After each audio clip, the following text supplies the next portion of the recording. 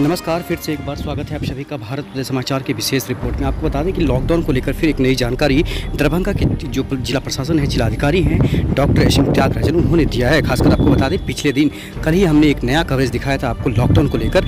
Lockdown जो चल रहा है, खासकर जो सोलह से इकतीस जुलाई तक लगाया गया है पूरे बिहार में, वही जो रूल है, वो दरभंगा में भी लगेगा। और कल जो जिलाधिकारी ने प्रेस नोट दिया था, वो हम आपको बता दिए थे। खासकर आज जो प्रेस नोट दिया गया है जिलाधिकारी के द्वारा, वो हम आपको बता दें लेकिन शेयर और सब्सक्राइब सब्सक्राइब इस चैनल को ज़रूर करिएगा। आपको बता दें कि आज जिलाधिकारी डॉक्टर एस एम त्यागराजन ने कहा है कि दरभंगा 15 जुलाई 2020 जिलाधिकारी डॉक्टर त्यागराजन एस ने ज़िले के सभी अनुमंडल पदाधिकारी, अनुमंडल पुलिस पदाधिकारी के साथ मीटिंग किया है। खासकर आपको बताएँ, प्रखंड विकास पदाधिकारी, सभी थाना अध्यक्ष के साथ ऑनलाइन बैठक की गई है। ऑनलाइन बैठक कर बिहार में 16 जुलाई से लेकर 31 जुलाई 2020 तक किए गए लॉकडाउन का अनुपालन सख्ती से कराने के निर्देश दिए गए हैं। उन्होंने कहा कि केंद्र सरकार के कार्यालय बंद रहेंगे, लेकिन defence C R C R P F कोषागार जन उपयोगी सामान जैसे petroleum C N G L P G P N G आपदा प्रबंधन, power generation and transmission unit, post office N I C तथा सुरक्षा संबंधी पूर्व चेतावनी देने वाली एजेंसी खुले रहेंगे।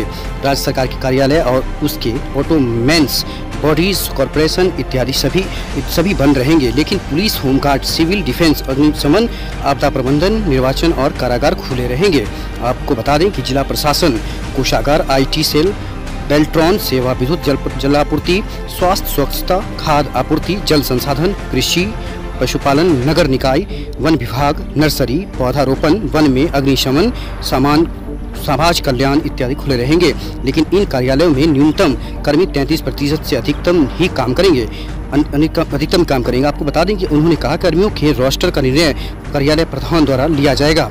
एटीएम, बैंक, इंश्योरेंस गैरेज खुले रहेंगे, होटल, रेस्टोरेंट और ढाबा खुले रहेंगे। खासकर उन्होंने ये भी कहा है कि केवल होम डिलीवरी एवं बैंक सामान प्रदान किया जाएगा। खासकर आपको बता दें कि पिछले दिनों भी जो ऑपरेशन उन्होंने दिया था, वही इसमें लगभग मिला था और आज कुछ अलग अलग जो नया जो प्रेस नोट दिया गया है, वो हम आपको बता रहे हैं कि आज जिलाधिकारी ने नया प्रेस नोट जारी कर किया है कि सोलह से इकतीस जुलाई तक लॉकडाउन लग रहा है पूरे दरभंगा जिला में। वहीं उन्होंने कहा कि गैराज मरम्मती एवं मेंटेनेंस मोबाइल मरम्मती की दुकानें खुले रहेंगे। उद्योग केंद्र को कोविड उन्नीस से सावधानी के लिए दिए गए निर्देश के साथ। खोला जा सकेगा।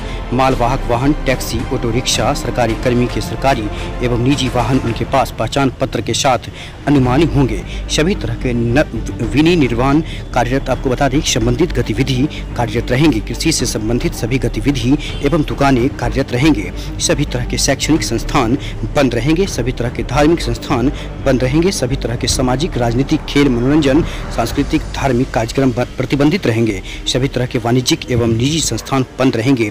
वरीय पुलिस अधीक्षक बाबूराम ने क्या कहा है, वो भी हम आपको दिखा देते हैं। शेयर और सब्सक्राइब इस चैनल को ज़रूर करिएगा। आपको बता दें कि वरीय पुलिस अधीक्षक जिलाधिकारी ने कहा कि प्रधानमंत्री गरीब कल्याण रोज़गार योजना से संबंधित सभी कार्यरत, कार्य यथासंगत जारी रहेंगे। आपको बता दें कि मास्क के विरुद्ध अभियान चलता रहेगा। मेडिकल से संबंधित सेवाओं को छोड़कर शेष सभी प्रकार की दुकानें जिन्हें खोलने की अनुमति प्रदान की गई है, प्रातः छः बजे से संध्या छः बजे तक ही खुले रहेंगे। मेडिकल सेवा अनिवार्य लागू रहेगा। आपको बता दें कि मेडिकल सेवा में जो भी कार्यक्रम है, वो अनहर्षित कार्यरत रहेगा ही। और लॉकडाउन के में जिला मुख्यालय, सभी नगर निकाय, सभी अनुमंडल मुख्यालय मुख्यालय एवं सभी प्रमंडल मुख्यालय में लागू रहेगा। जिलाधिकारी ने मंडल, कारा दरभंगा के संदीप कुमार को निर्देश दिया है कि ज़िले के अंदर बैरक में रहने वाले सभी व्यक्ति कैदी हों या कर्मी किसी भी हाल में जेल के बाहर नहीं जाएँगे। कारागार को कंटेनमेंट जोन की तरह ट्रीट किया जाएगा। जिलाधिकारी ने सभी प्रखंड विकास पदाधिकारी को कोविड उन्नीस पोर्टल पर लाभकों के विवरण की प्रतिष्ठि पूर्ण कराने के निर्देश दिए हैं। उन्होंने प्रखंड विकास पदाधिकारी बहेरी के प्रति जो प्रति प्रविष्टि की प्रतिशत कम रहने के लिए नाराज़गी व्यक्त की तथा प्रविष्टि में तेज़ी लाने के लिए निर्देश दिए। साथ ही बहादुरपुर, गौराभराम, जतपुर, घनश्यामपुर के प्रखंड विकास पदाधिकारी को भी प्रविष्टि में तेज़ी लाने के निर्देश दिए हैं। उन्होंने कहा कि प्रविष्टि में जो भी मिसमैच है, उसे भी शीघ्र दूर किया जाएगा। ये था डिटेल्स जिन्हें दुकानें खोलने की अनुमति प्रदान की गई है। आपको बता दें कि उन्होंने सभी अंचलाधिकारी को, मुख्यमंत्री नीतीश कुमार के द्वारा अगले पाँच वर्षों में हर खेत को पानी के संकल्प के आलोक में कृषि विभाग द्वारा 18 जुलाई से 7 अगस्त तक उपलब्ध सिंचाई सुविधा का किए जाने वाले सर्वेक्षण कार्य को और समय पूर्ण, सौ समय पूर्ण करने के निर्देश दिए हैं। उन्होंने कहा कि वर्तमान में हर खेत में सिंचाई की उपलब्ध सुविधा तथा सिंचाई का माध्यम की जानकारी दिया जाना है। इस कार्य के लिए कृषि समन्वयक एवं किसान सलाहकार को लगाया जा रहा है। प्रतिदिन सर्वेक्षण कार्य की निगरानी कर रहे उसे समय पूरा करा लें। जिलाधिकारी ने गौरापुराम व घनश्यामपुर के जिलाधिकारी से बाढ़ की स्थिति के संबंध में जानकारी ली। दोनों जिलाधिकारी ने बताया कि पानी घट रहा है।